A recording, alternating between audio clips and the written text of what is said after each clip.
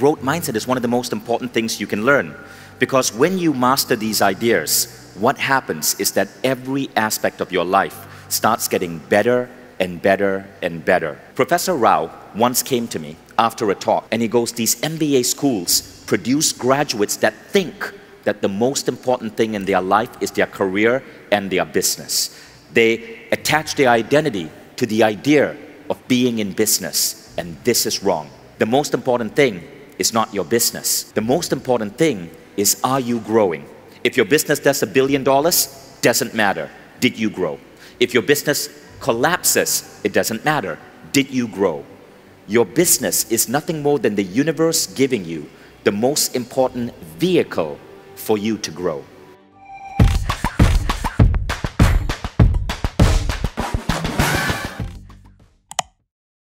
The Emirati government asked me to create a program for civil servants here in the country on growth mindset.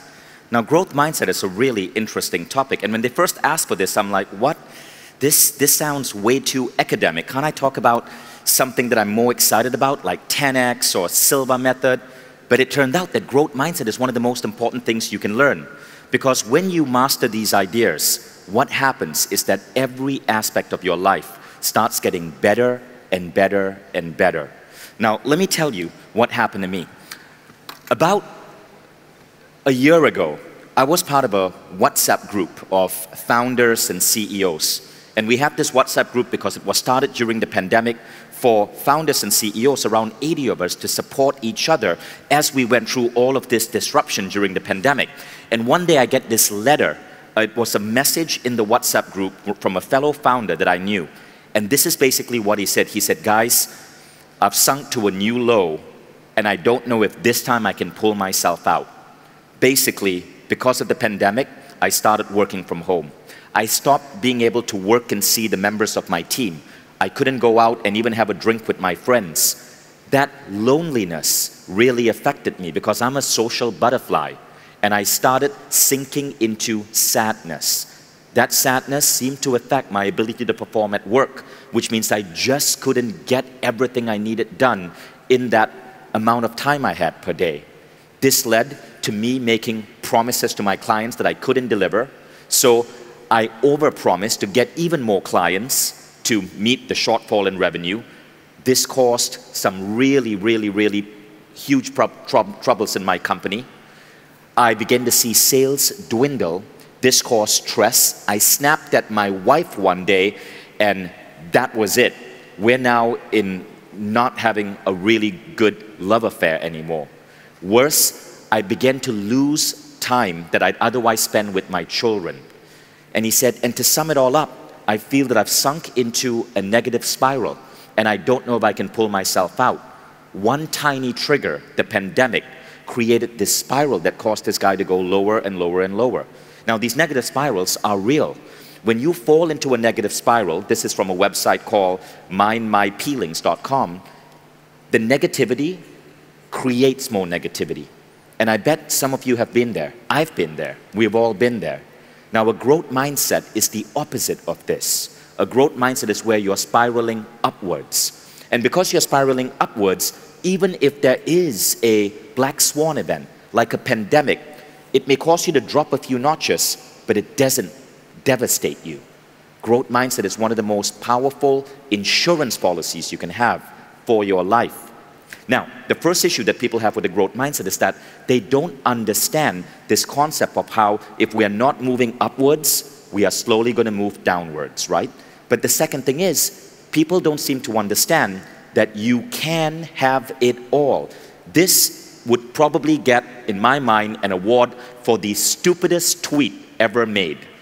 And it's from Randy Zuckerberg, Mark Zuckerberg's sister. And again, no disrespect to Randy, we're talking about the tweet here.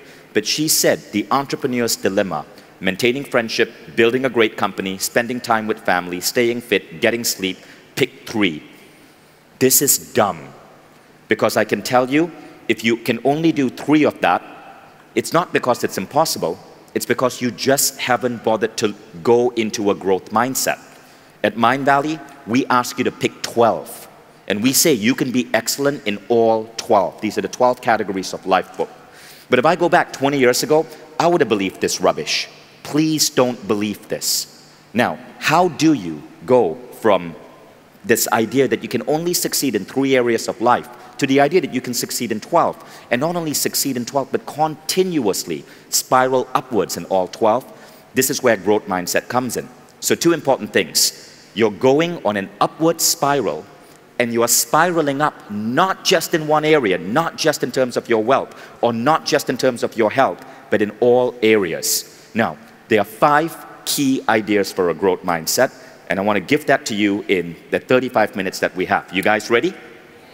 The first one is the idea of knowing your number one mission. This is a quote from my book Your soul isn't here to achieve, your soul is here to grow. Most people get this wrong. They become seduced by success and broken by failure.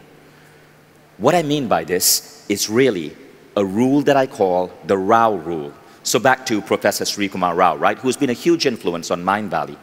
Professor Rao once came to me after a talk and he said, Vishen, the problem with all of these top MBA schools, whether it's Harvard or it's Stanford, is that they do not teach the most important thing. And I asked him, what's the most important thing? He goes, consciousness. And I go, but Rao, they do. They do teach consciousness. And he goes, no, no, you're misunderstanding. They teach ethics. Ethics and consciousness are two different things. After the Enron scandal, all of these schools teach ethics. Consciousness is different. It's something bigger. So I said, explain. And he goes, these MBA schools produce graduates that think that the most important thing in their life is their career and their business. They attach their identity to the idea of being in business, and this is wrong. He went on to say, the most important thing is not your business. The most important thing is, are you growing? If your business does a billion dollars, doesn't matter. Did you grow? If your business collapses, it doesn't matter. Did you grow? Your business is nothing more than the universe giving you the most important vehicle for you to grow. Your business is not about its success or failure, detached from that. Your business, rather, is your gym. It's your training ground. It teaches you how to lead. It teaches you how to produce a product. It teaches you how to navigate the complexities of the economy. Your business is your gym. Now, when you go to a gym and you walk out of that gym and you feel all that your body is aching and you wake up the next day and because of lactic acid buildup, your muscles are aching, does that mean you failed at the gym? No. You sometimes have to break a certain part of yourself to grow. Same thing happens with businesses. So the Rao rule is simply this the number one thing in your life, the number one thing is growth. Growth should be the number one cause that you dedicate yourself to.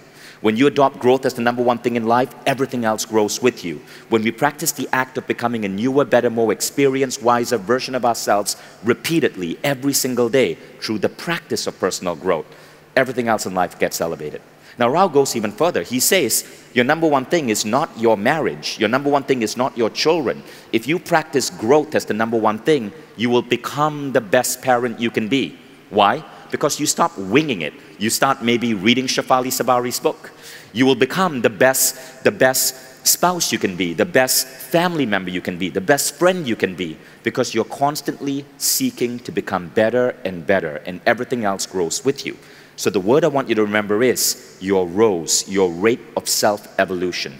How fast are you growing?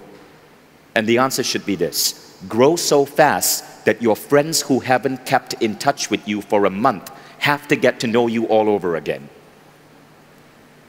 Now, here's a simple exercise I want you guys to do. How much time do you make for personal growth every day? The best people I know who are really crushing it at life, they spend hours a day on personal growth. I've spent time with people like Richard Branson, and I've seen how he wakes up at 6 a.m. in the morning to swim five kilometers because that swim is his way as a man in his 70s to, to grow his health and his wellness. The best people spend hours on personal growth. How much are you spending? So, what is personal growth time? It's time in the gym, it's time meditating, it's time where you're learning. This is the one people forget.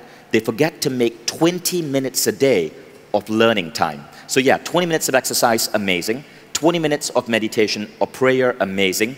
Are you spending 20 minutes a day on, say, the Mindvalley app just going through a lesson, and by the way, all the lessons in the Mindvalley app are 20 minutes. Now, when you stack these together, you go through incredible growth. So, I want to ask you to do something right now.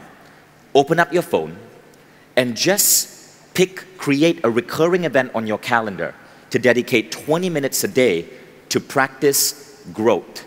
Now, we're not talking about meditation, we're not talking about exercise. Keep doing that. We're talking about growth, as in growing yourself through study, introspection, reflection. This could be journaling, it could be reading a book, it could be being on Mindvalley, it could be watching a TED Talk. Open up your phone right now and just schedule it. And I'll tell you why. You don't have to overthink this. You can always delete the calendar event tomorrow. You can reschedule it. So for me, when I wake up in the morning, it's 20 minutes of the six phase. And then when I make my first cup of coffee, rather than go straight to my computer, I sit down in front of my TV I open up the Mindvalley app and I watch a 20 minute lesson and I drink my coffee with that lesson. This is, I call this my Mindvalley time. I'd like to ask you guys to open up your phone right now and just schedule your Mindvalley time. Could we get one minute, please? Now, make it a recurring event, Monday to Friday. Some people do it in the morning before they go to work, and a lot of you work from home right now, so it's even easier. Some people do it after they come home from work. You can even schedule this, by the way, during your commute through listening to podcasts or listening to Mindvalley as an audio while you're commuting.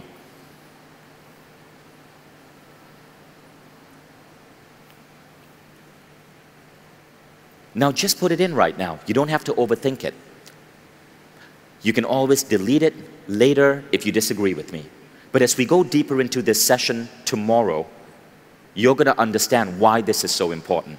And this little marker on your calendar is going to serve you as a reminder on Monday for everything that you're learning here and how to implement it into your life. I'm going to give you that homework tomorrow.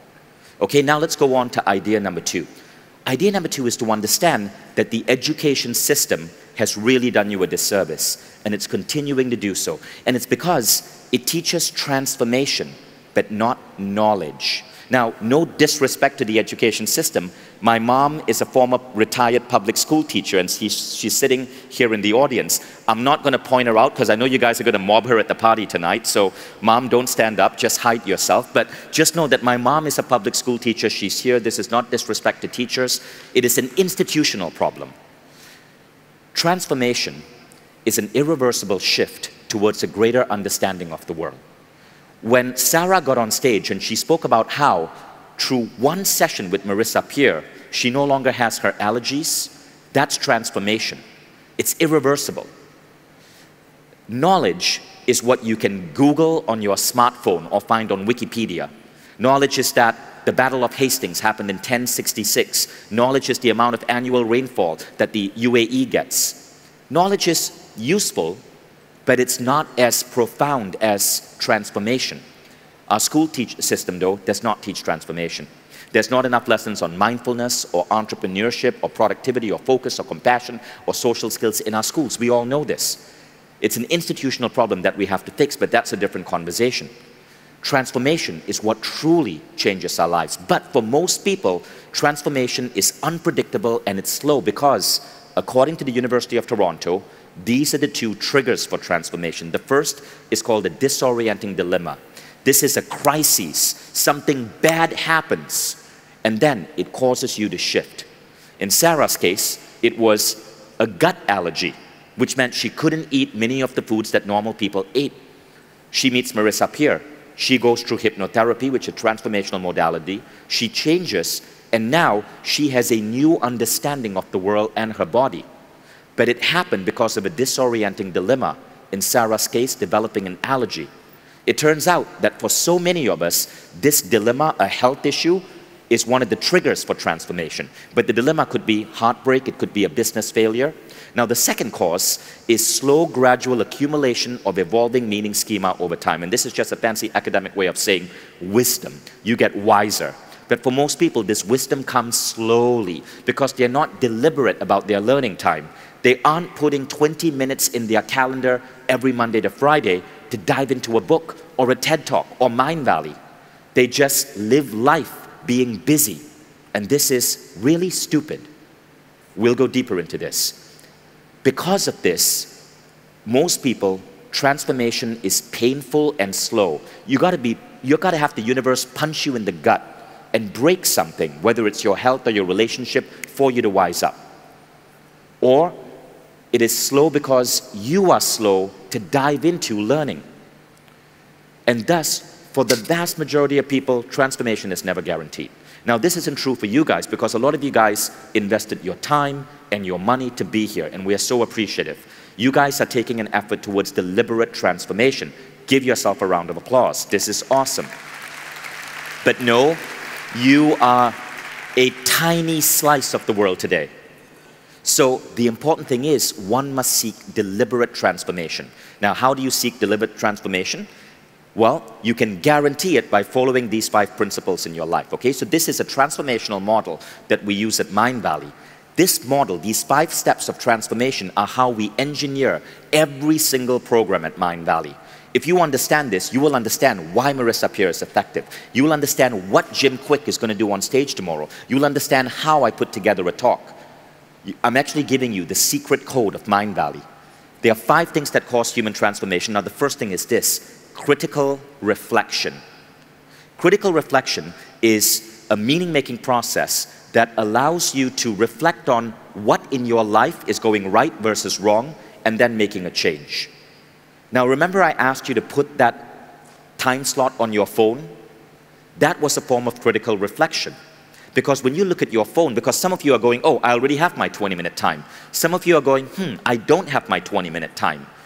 You are critically reflecting on are you allocating time for your growth? It turns out critical reflection is the number one determinant of, determinant of human transformation. Now, and Dr. Shefali uses this. Remember when she got on stage? She kept giving examples that many of you here as parents, particularly Indian parents, can relate to. She gave examples that made you understand and reflect on how you behaved with your children as an adult. That's critical reflection. She wasn't poking you, but through her stories, I bet many of you went, oh God, I, I did do that.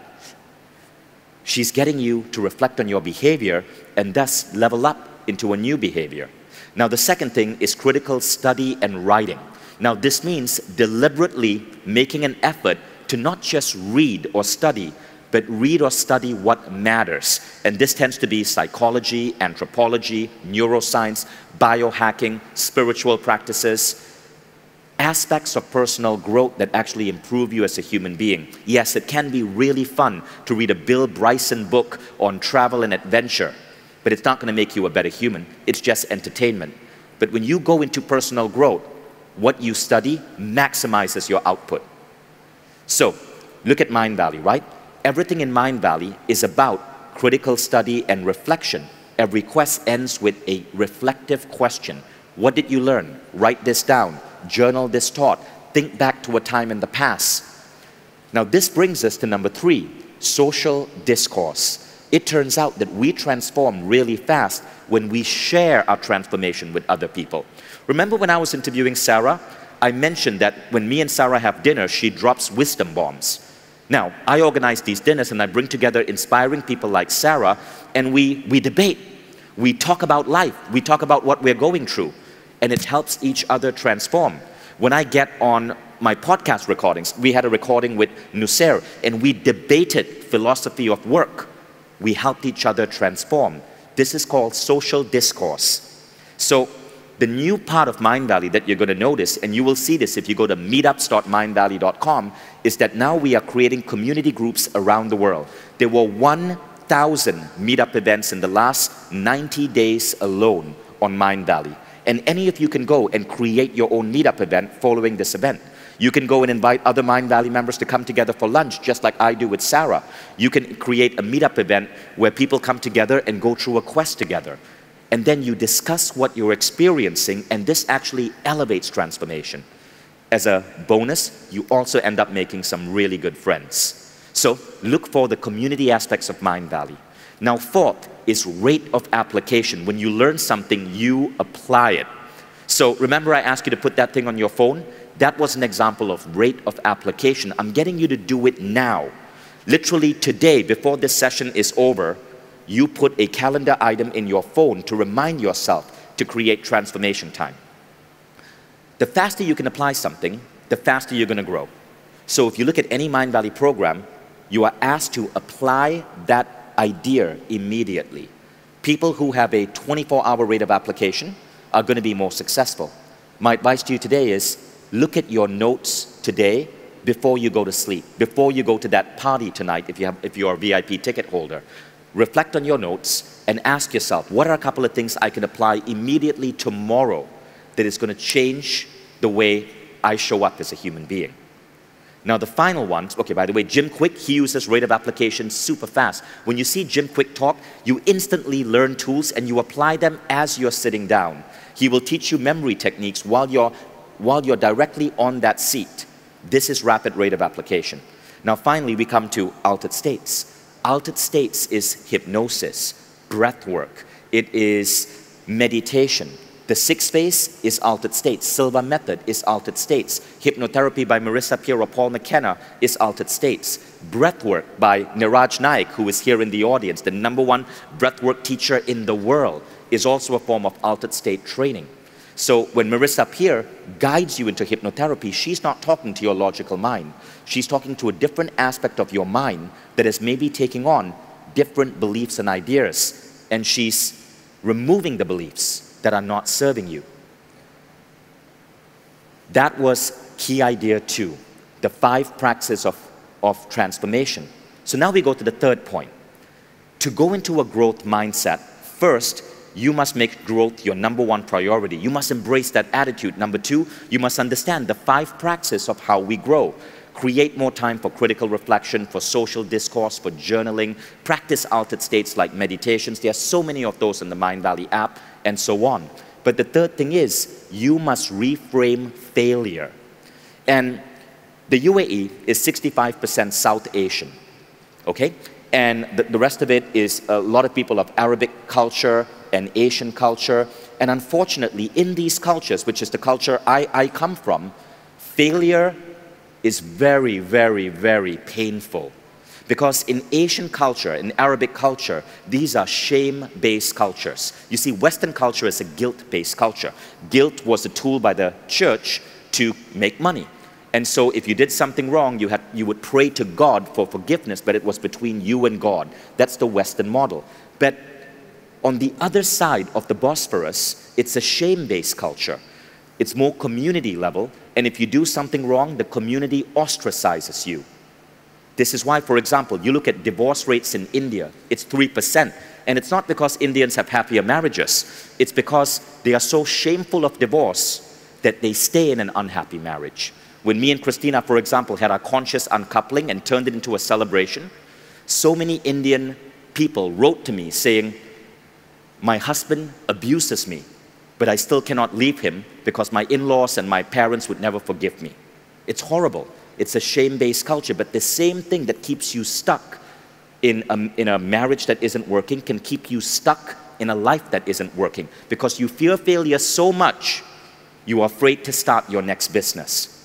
I failed with three companies before I started Mindvalley. My dad lent me $30,000. I lost all of it because I did not choose to go into the idea being, feeling ashamed for my losses. This allows you to be a risk taker. And if you can take risk, you will grow faster. So you got to reframe failure. As the Rumi said, O ye who cannot take a good rub, how will you ever become a polished gem? Now, remember the idea of Kensho and Satori? You can actually reframe failure to be something that's positive. Kensho moments are painful moments that actually give you a new meaning schema of the world, so you simply become better. Satori is true insight, but Kensho can be really, really powerful. How many of you here are entrepreneurs? Raise your hand if you, if you employ people. Okay, here's a really cool thing. You want your people to be innovative, right? Remember I shared the story of Ola? I did not bring Mindvalley to Dubai. Ola did. Now, in most companies, someone like Ola proposing to do an event here for 2,000 people they are taking on a lot of risk.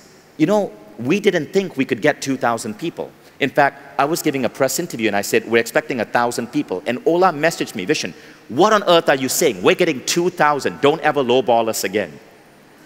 Now, the reason for that, the reason why my employees can take risks like that is because at Mindvalley, we adopt a lesson from Larry Page of Google, and it's called the 50-50 rule. And it simply means this.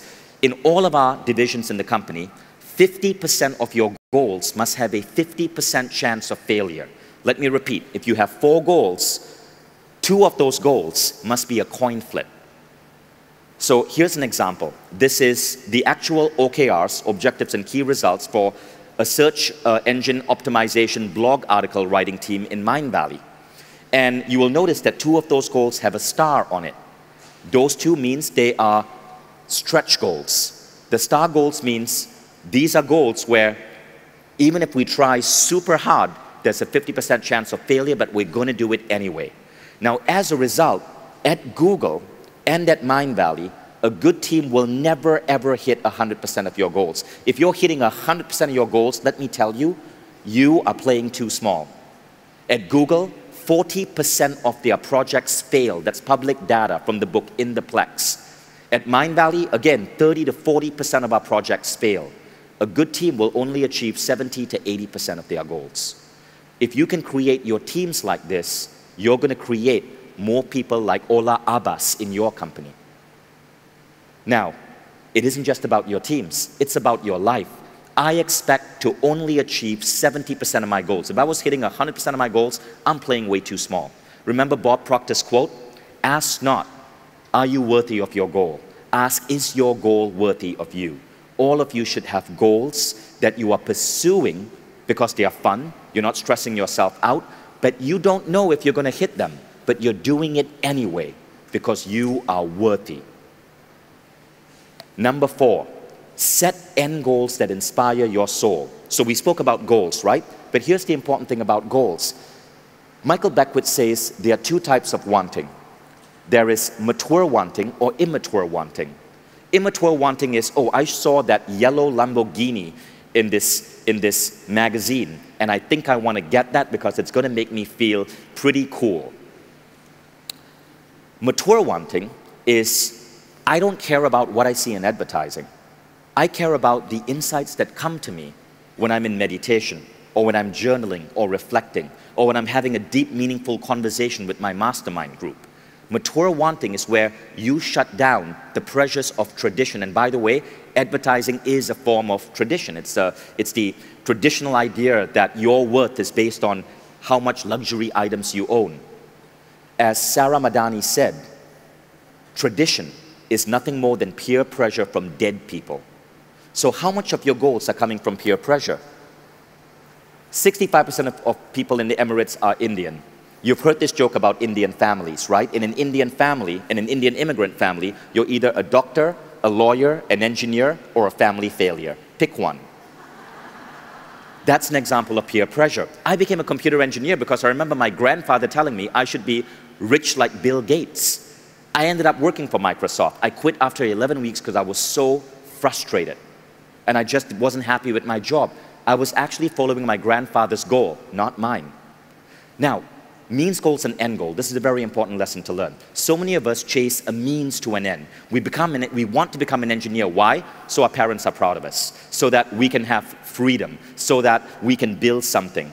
But there are so many people like me who go into that only to find that the means mean nothing. Rather, you want to set end goals. End goals are a completely different levels of goal. End goals are the goals that really light you up. They are doing it for your soul and no one else. Sarah Madani's lesson was all about a woman who disregarded tradition to set her own end goals. So let's break down the idea. Means goals have a so in them. I want to become, I want to get into a good university so I can become a lawyer, so I can join a law firm, so I can have a great paying job, so maybe I can have freedom. America has 5% of the world's population, but 70% of the world's lawyers because that cultural narrative permeates American society. Because of law shows in the 90s like Ally McBeal and LA Law that glamorized law. But I can tell you, I worked in the US law industry. 50% of American lawyers are clinically depressed. So all of these people who become lawyers are basically saying, I want to get a job where I have a 50% chance of hating my life so much, I need to live on, on depression medication. That is the danger of means goals. Now, means goals are also about confirming to rules, BS rules, rules from society, rules from tradition. But many of these rules no longer make sense. End goals are different. End goals are about following your heart. When you think about an end goal, you light up. You stay up at night thinking about your end goal. You stay up at night thinking about that place you want to go on holiday because you have freedom. But you don't stay up at night thinking about how exciting it is to be doing your LSAT exam. Next, end goals are often feelings, right? They are feelings that we want freedom, significance, being able to be creative. So many entrepreneurs set a means goal. I want to own a business, only to, that, only to realize that if you own a business, that could be a recipe for lack of freedom, for restriction, for significant stress. Rather, set goals for I want a life of freedom. I want a life where I feel creative. I want a life where my work is recognized. I want a life where I'm earning this much money and can stay in five star hotels and have two months of vacation a year. Those are way better than saying, I want to be an entrepreneur. Entrepreneur is a means goal. Now, remember the double illusion trap. You're not setting the goal, you're chasing the feeling the goal gives you, but even then, you're chasing the assumed feelings. We spoke about this earlier. So the solution to this is the three most important questions exercise. You guys want to do this exercise with me? Okay. We're going to do a super fast speed round of this exercise. Now, how many of you here have done the 3MIQ before? Awesome. So all the amazing people in the audience have done it. Now, the 3MIQ says this. There are three types of end goals in life. The first is experiences. Cradling your newborn baby in your arm is an experience, right? Being on stage telling your first joke as a new stand-up comedian to 2,000 people is an experience. Being able to own a gorgeous apartment in the heart of Dubai is an experience. Experiences light us up. They are end goals in itself. You don't, you, you, it is, it is the pure expression of being human. Now the second question is, how do you want to grow? Because growth is one of the things that gives us most fulfillment. So when you set goals for your new health goals or goals for the number of books you want to read a year. These are growth goals, goals to learn new skills. And the third question is, how do you want to contribute? How would you want to give back to the world? Each of these connect to each other. So you're going to make a list of three, and I'm going to give you one minute per list. You're first going to write down all the beautiful experiences you want in life. And then you're going to ask yourself if I was this man or woman who has all of these beautiful experiences, how would I have needed to grow to get there? For example, you want to have a beautiful home in the south of Italy. Maybe one of the things you want to learn is how to speak Italian. Maybe you also want to figure out how to create passive streams of income so you can pay the mortgage on that home. Maybe you also want to learn how to grow your finances. So, growth you derive it from your experiences. Now, the third one is also related. You want to ask yourself if I was so lucky as to have all of these experiences and grow in all of these ways, how then do I contribute to the world? Why do you ask this question? Remember the concept of level four thinking, unity? You don't just want to be powerful or wealthy. You want to be powerful, wealthy, incredible, but doing good for other people because nothing else creates fulfillment than that. The Dalai Lama said, You want to be happy? Make other people happy. So, this is how, why the three most important questions fit so deeply into everything else we've been learning today. So, let's start, right? If you have a piece of paper, you want to draw columns like this experiences, growth, contribution, EGC. You can also do this on your phone. Now, this paper is really powerful. I want to share with you a really crazy story. This is the 3MIQ sheet that Ronan Diego put together. You're going to see Ronan on stage today. He's an amazing speaker. He's also Ola Abbas's husband. But what you don't know is that Ronan was a skinny kid from Brazil who joined Mindvalley maybe around in, in 2013. And at a team retreat, he wrote this down have a super effective mind, have a center which people could learn to improve their relationships, give a TED talk, have a healthy, strong body, inspire people to follow their dream. He wrote all of this down. He had no idea how he was going to do this. By the way, when you listen to the goals coming from your heart, one of the things that's going to happen is you will not have any idea how to get there, but write it down anyway. Because when you're listening to your heart, it's plugged into something deeper, and the universe will find a way. Just trust me on this. I'm going to teach you how to accelerate this tomorrow. So Ronan wrote this down, and the coincidences started. He ended up taking part in the Viper Challenge in Malaysia, a very tough race. Somehow, he came out number one out of 20,000 competitors. He got invited to give a TED Talk in Kuala Lumpur, Malaysia. Hold your applause, because we're not even done yet. His TED Talk was so successful, they, he was flown to Paris to give another TED Talk. And then he decided to come back to the Mindvalley office and tell his boss, Vishen, hey, I've been giving TED Talks around the world. Can I give a talk in Mindvalley? So I said, yes. I sat down and listened to this man speak, and I'm like, you're brilliant. Do you want to lead health and wellness in Mindvalley?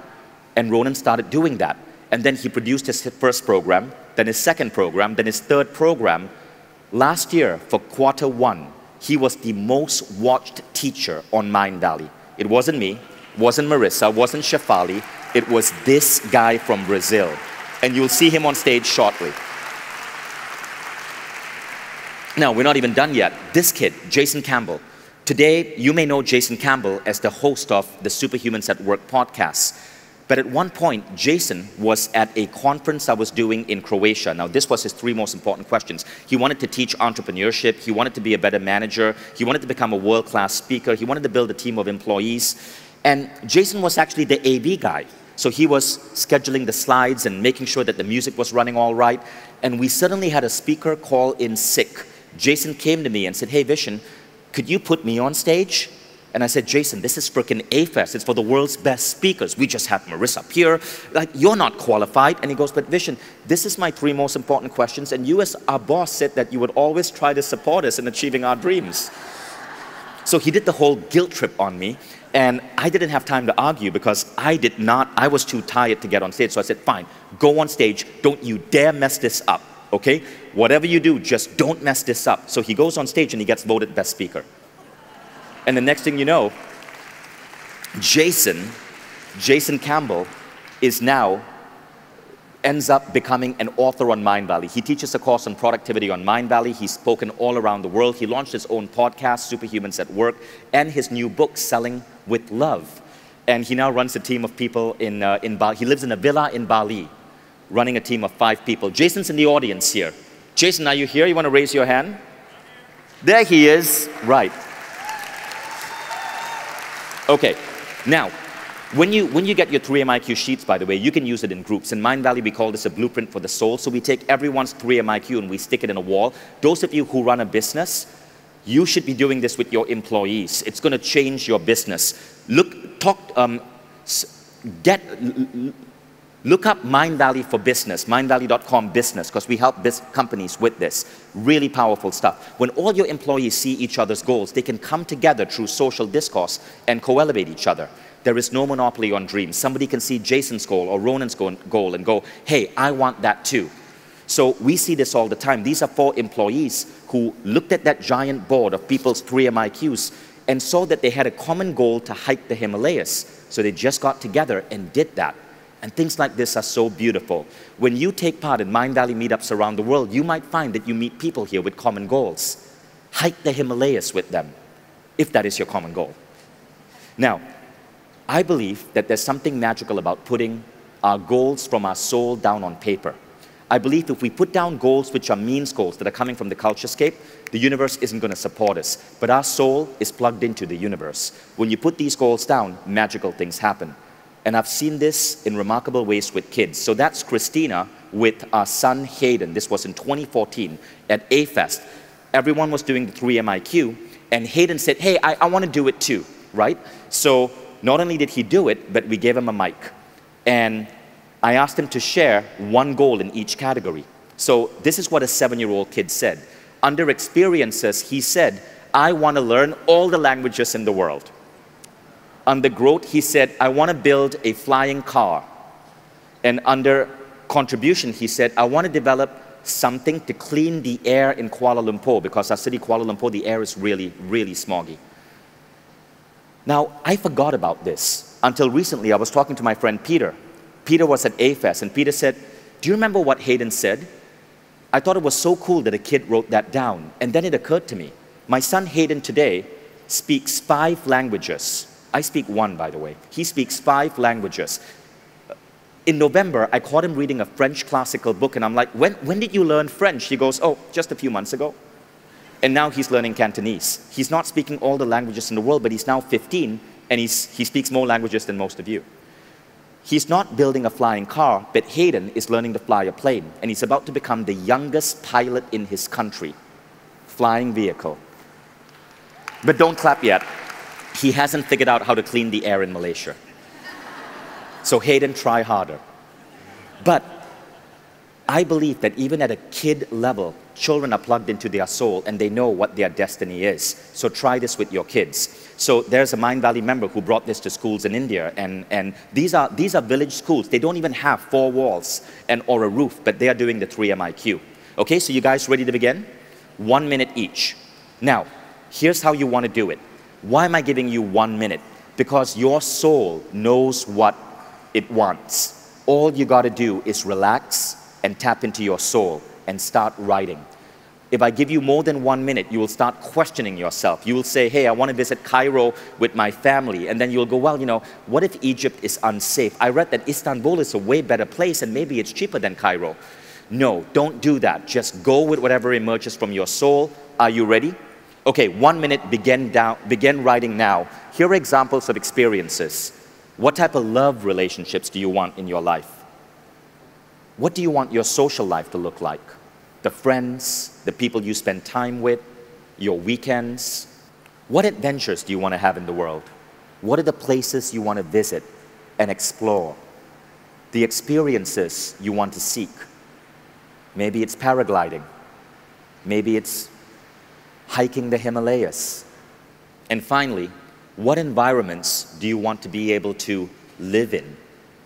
You might write down, I want to be able to to have a stay in a five star hotel for one month every year. I want to be able to work from any spot on the planet and still be productive.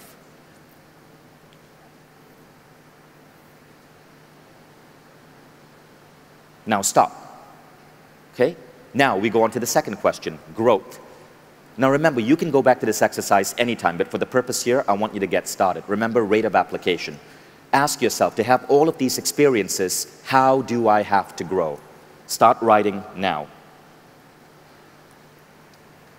You can look at health and fitness. How do you want to grow in terms of improving the effectiveness of your body? You can look at your intellectual life. What are the things you want to study?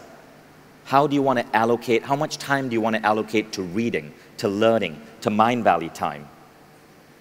Look at your spiritual life. Maybe you want to take a particular spirituality program, like something by Joe Dispenza. Maybe you want to dive into a new Mindvalley course like Duality or the Silva Method and complete it. Maybe you want to set aside a 20 minute meditation or prayer practice every day. And finally, your creative life.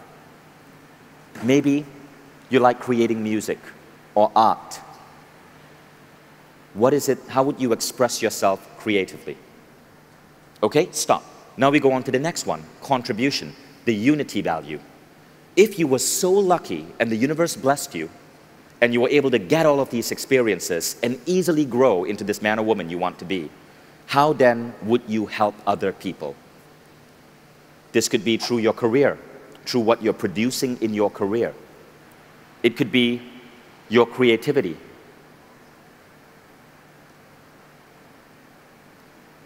It could be through contribution to your family.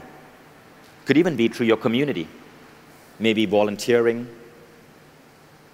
Contribution is not just charity work or donations. Contribution is also creating services, products that give back to the world. When Ronan gets on stage and speaks about health and wellness, that is a form of contribution. When Ola steps up in her company and chooses to persuade the boss to take on a big project like Mindvalley in Dubai, that is also a form of contribution. You can really contribute through spreading wisdom or through giving to your company. Okay, now put your pens down.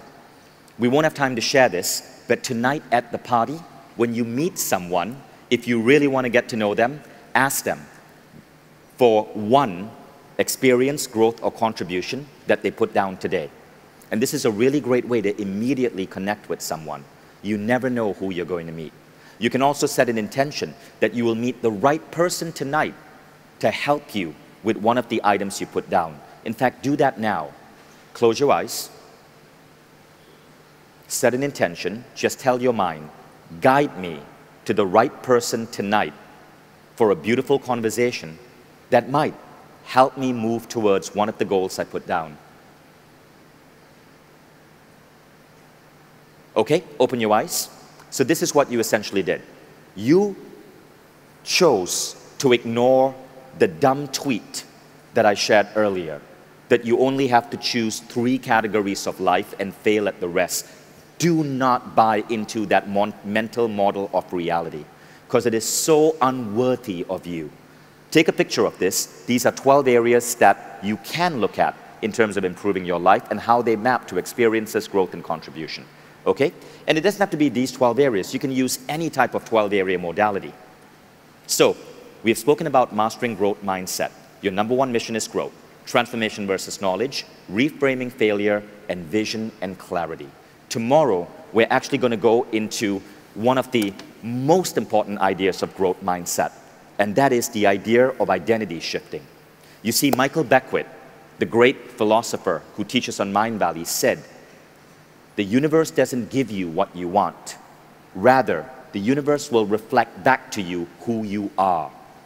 If you can find a way to pinpoint the beliefs in your head, pluck out the useless beliefs, and plug in new identities of who you are, incredible things will happen.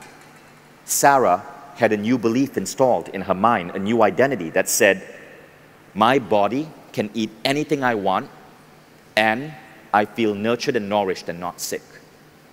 But you can also plug in a new identity. I am a confident man or woman. I am a thriving entrepreneur. I live a life of freedom. I only work when I choose to work. I have a healthy body that gets better every year, even though I'm in my 50s. Identities are important because this whole thing about the law of attraction is kindergarten stuff. We don't even talk about it much at Mindvalley. The universe doesn't give you what you want, it will reflect back to you what you believe about it. And what you believe about it is your identity because you are plugged into that universe. But we'll explore this topic tomorrow. Thank you guys. Have an amazing time tonight.